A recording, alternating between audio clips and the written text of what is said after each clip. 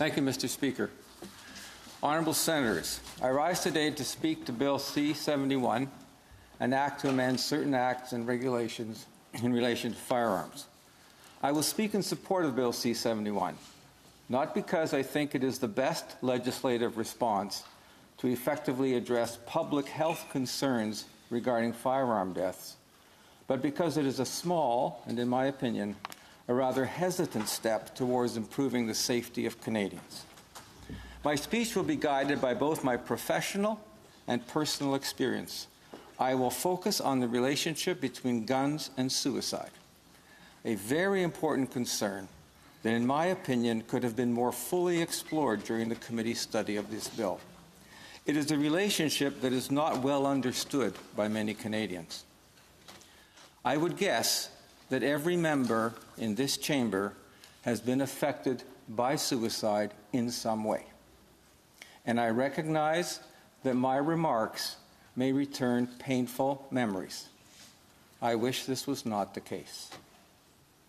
I have spent my professional life dedicated to the improvement of mental health and the treatment of mental illness.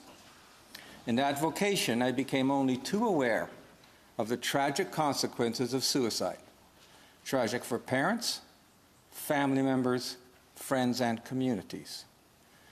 That professional exposure, however, paled in comparison to my personal experience with suicide.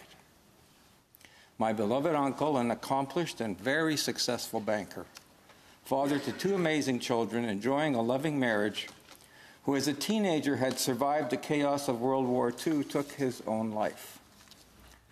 Nobody who knew him would have ever predicted he would die the way he did.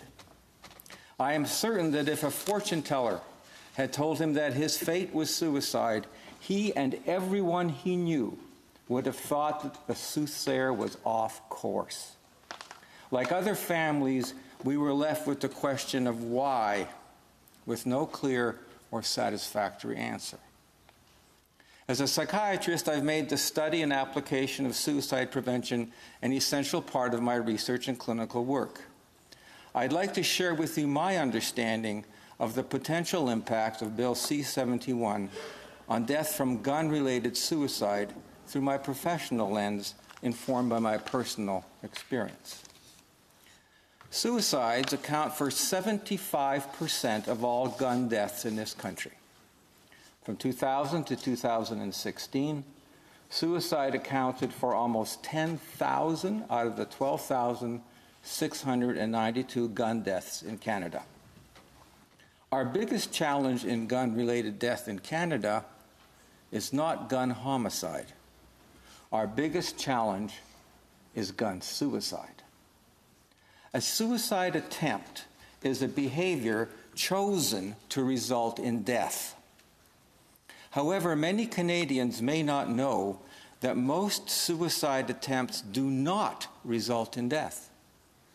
Indeed, about 90% of people who attempt to suicide do not actually die by suicide. This is both startling and extremely important. It raises a vital question.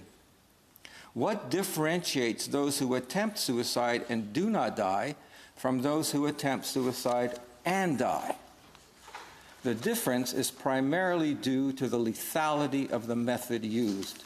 The more lethal the method, the more likely will death be the result. Guns are very effective killing instruments. Less than 5% of suicide attempts involve guns. However, about 30% of all suicide deaths result from guns. If a person uses a gun in their attempt, they will likely die. It is also important to understand that suicide attempts are often impulsive. The human brain's control of behavior is complex, but generally involves two decision making systems. One reacts rapidly to a thought or event, and one reacts more slowly. The first leads to impulsive behavior, the second to reflective behavior.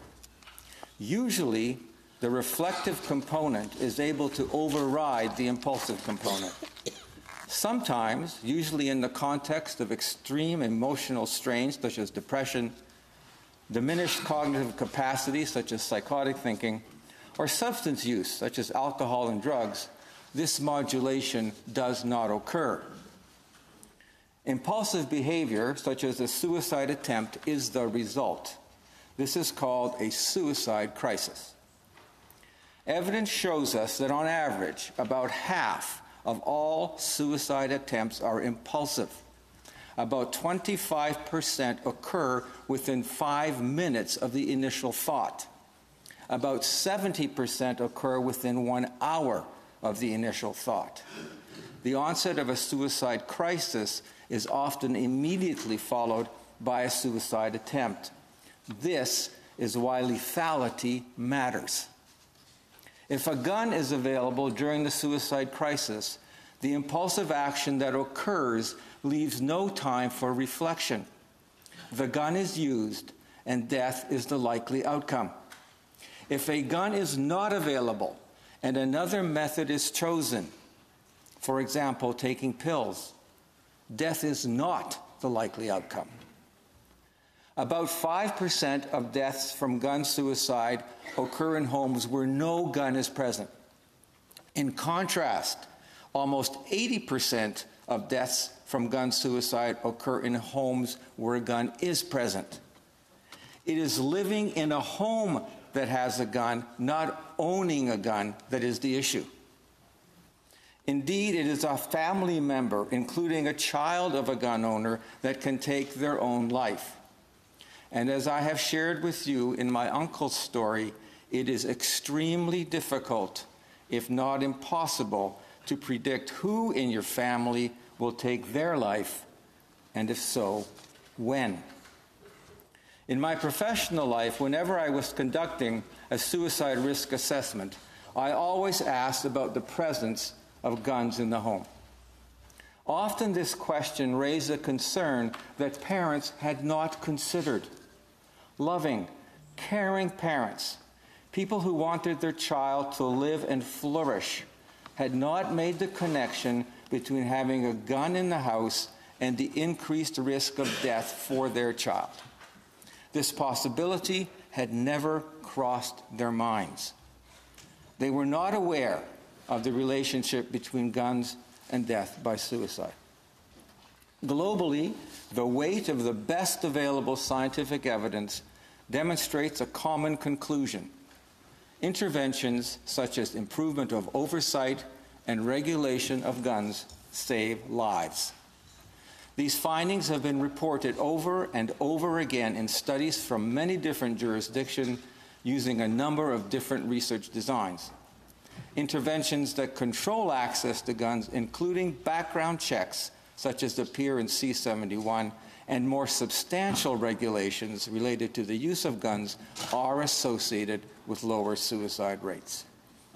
And it is also clear that substitution of method leading to similar death rates does not occur.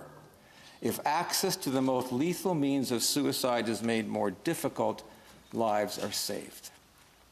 It is clear that the extensive weight of best available evidence shows that there is a relationship between guns and suicide, and that better oversight of firearms results in significantly lower firearm suicide rates, as well as the proportion of suicides resulting from firearms. It is therefore reasonable for us to see Bill C 71 as a step forward to improving the safety of Canadians seen through the lens of the relationship between guns and suicide, even though this bill is only a small step in that direction. There are many ways we can improve our oversight of firearms to help lower rates of gun caused suicide, and by so doing, lower overall rates of suicide. One of these is through thoughtful regulation. In particular, at this time, I would like to propose two suggestions that I think might make a difference moving forward. They're based on my professional experience as well as my study of guns and suicide. In addition to better oversight of guns, better information about how to decrease suicide risk provided to gun owners may help prevent gun suicide. In my opinion, it's imperative that information about suicide risk and guns be made available to all gun owners. My first suggestion focuses on the position, possession and acquisition license, the PAL process.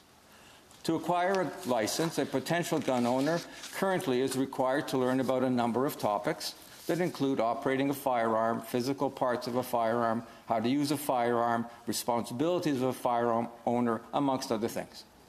Nowhere on this list is found understanding of suicide prevention as it relates to guns. I believe that this is a missed opportunity to put into place a simple intervention that may save lives.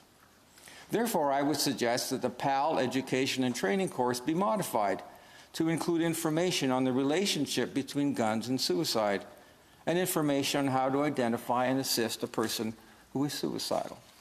Second, I would suggest that whenever ownership of a weapon is transferred, the transferee be obligated to provide specific information about the increased risk of death from suicide associated with gun ownership. This would also include information. I apologize for interrupting you, but it's uh, now 6 p.m. and pursuant to Rule 3-3 sub 1, I'm required to leave the chair unless it's agreed that we not see the clock. Is it agreed, honourable senators? Agreed. Agreed. Senator Kutcher. Thank you. These are both suggestions that could potentially reduce gun related suicide. To my surprise, after I had come up with this idea, my staff discovered that it was not novel. It exists already and has achieved some traction through grassroots movements in the United States of America. In Colorado, the CO Gun Shop Project works with retailers, range owners, and safety course instructors to add suicide prevention information. New Hampshire also has a similar project that shares materials developed by and for firearm retailers and range owners on the ways they can help prevent gun related suicide. Reducing risk of harm through education and legislation is a proven method for increasing safety of our citizens. Honorable Senators, whatever our own personal relationship with guns is, we need to use our knowledge about the relationship between guns and suicide to help guide us in our current deliberations. And we need to think proportionally and compassionately when considering how to best discharge this duty. We also need to reflect on our own experience with the tragedy of suicide and use that experience to help us guide our decision making. Suicide is a significant public health concern. It is known in every community and has touched the lives of many people. We need to help reduce rates of suicide, and this includes better oversight of guns. In my opinion, Bill C 71 can be part of that larger dialogue that needs to happen in this country. It is not all that needs to be done, but it needs done. It's an attempt to move towards a safer Canada, and, honourable senators, that is what we as legislators must consider as part of the duty to, of a government to ensure the safety of its citizens. Please join me in this work by voting to support C71. Thank you.